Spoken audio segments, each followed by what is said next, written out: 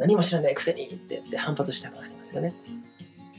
で、これが、ここから重要なんですけど、実はこれ、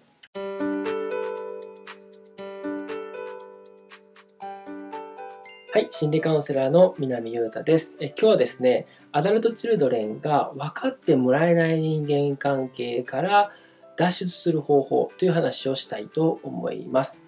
で、えー、これはですね、心の内側で起こっている喧嘩を収めないと、心の外側の人間関係で起こっている喧嘩もなかなか変わらないですねっていう話です。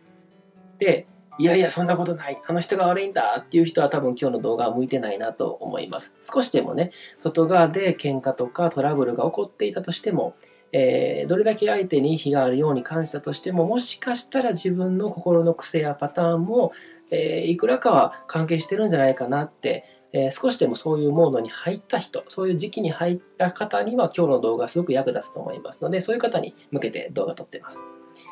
まずですね、僕たちの、え心の中で、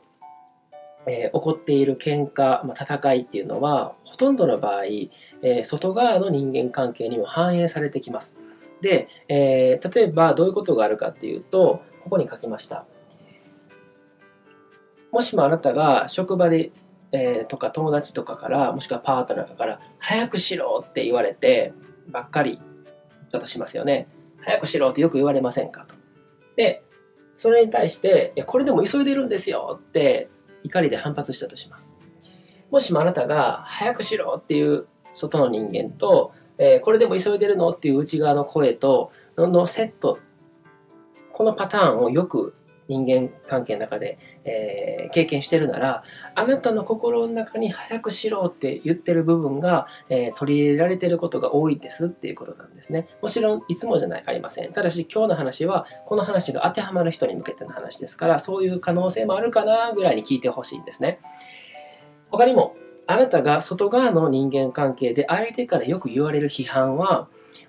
ほとんどの場合、結構多くの場合、あなたの心の中にすでにあるものであることが多いです。まあ、投影って言って自分の中の影の部分、自分でもあまり認めたくない部分は人って結構相手の中に投影投げ込んでしまう自分の姿から出た影を相手の姿から出た影のように感じるような習性が僕たちにはあります。で、これ投影っていうわけですね。影を投げるって書きます。でこの投影が起こってると心の内側にいた早くしろとかもっとマシなこと言えないのとかそうじゃないだろうとかね本当にバカだなとかね、えー、頭が悪いなとか、えー、なんかそういうこういろんな、まあ、否定的な言葉、まあ、こういった否定的なことを言ってくる他人と人間関係を振り返った時に今までの人生振り返った時にそういえばよく関わってきたなってもしくは親がそういう人だったなと私に対してすごく批判的だったなって、えー、感じてる場合はあなたの心の中に、え、インナークリティック内なる批判家として、えー、取り入れられてる可能性が結構よくあるんですね。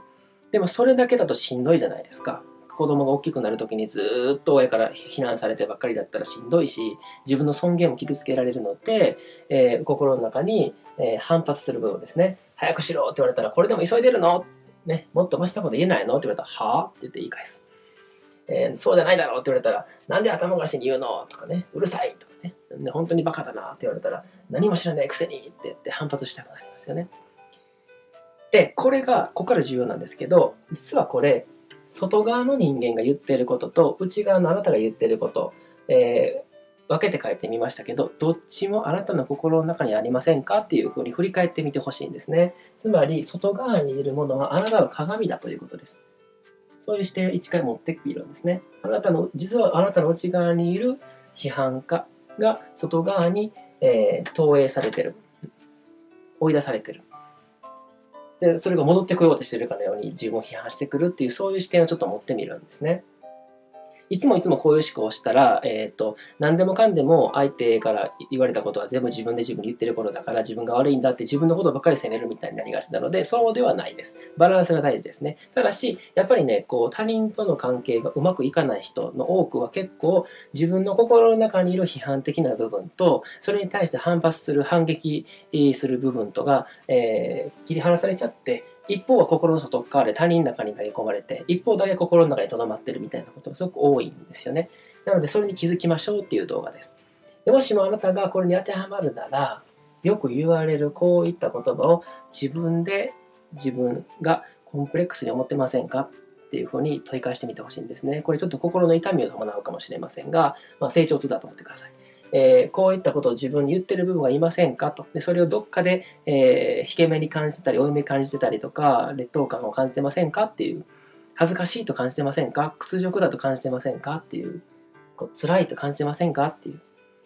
でそれが認めるの嫌だ嫌だし、それをあんまりこうね、あのうわーって言われるのも辛いから、この部分で衝動的にバーって言っちゃう時ありませんかっていうことなんですよね。で、これに気づいていくと、実は、えー、心の中にいるんだ。内なり批判家として住んでるんだってことに気づきます。つまり、どっちも私の心の中にいるんだっていうことが分かってきたりすることもよくあります。非常によくあります。でまずはね、えー、そういう知識を知らないと外からの人間関係がいつもこういうことばっかり言う人で私の心の中はいつもこういう不満ばっかりで、えー、そういう人間関係が人生を通して気づけば、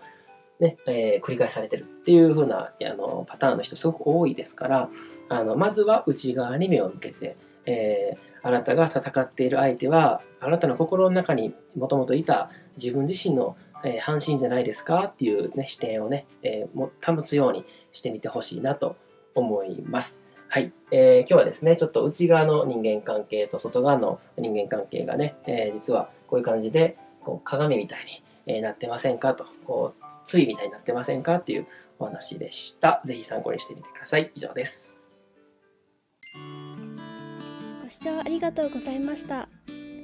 よろしければチャンネル登録、高評価よろしくお願いいたします。概要欄のリンク先から公式 LINE や無料メルマガへご登録いただけますので、ぜひそちらもご覧ください。